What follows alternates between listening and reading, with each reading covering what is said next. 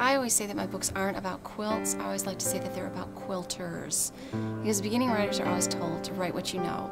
Since I'm a quilter myself, I know a lot about the quilting community and about some of the inside jokes that quilters have and some of their little controversies and some of their quirks quilting and the beauty of quilts and the endless variety of patterns might be what draws people into quilting as an art form, but it's really the community that I think keeps people there. Because ever since the quilting bees that the pioneers celebrated so many generations ago, women and even men alike have drawn, come together around the quilting frame, working on communal projects and sharing stories and sharing confidences around the quilt frame. Women were not always encouraged, if they had an artistic bent, they were not always encouraged to become painters or become sculptors.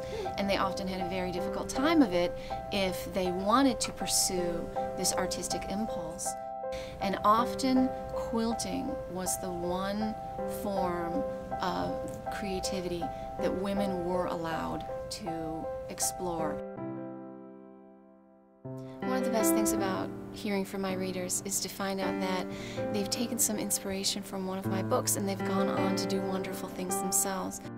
One very remarkable group of women was a book club at a women's prison near Racine, Wisconsin.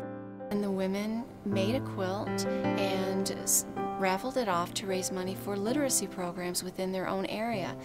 It meant a lot to me to know that my story had this effect that I never could have imagined when I was writing the book, but it's certainly very gratifying as an author to know that just a simple act of storytelling had wonderful results further down the road, and it really did touch the readers' lives.